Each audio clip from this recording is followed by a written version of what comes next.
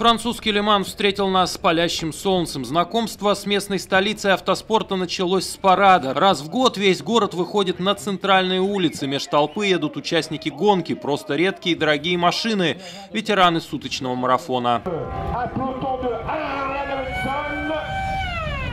Yes, les avertisseurs sont en marche.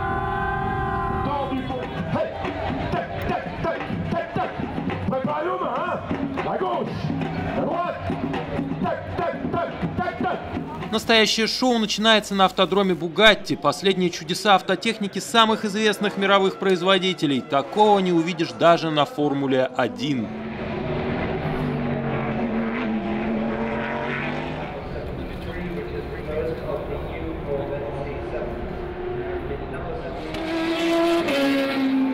Во время 24-часового марафона мы смогли работать на так называемой пит-лейн и в боксах команд. Вот русский пилот Роман Русинов.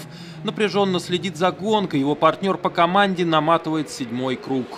Даже нельзя сказать, кто теоретически претендует на победу, потому что ну, все еще впереди. Ну, а когда будет 12 часов гонки, уже будет понятно приблизительно расстановку сил. Зрелищности добавила погода. То и дело солнце закрывали тучи, машины не успевали менять колеса. Без дождевой резины несколько болидов сошли с дистанции.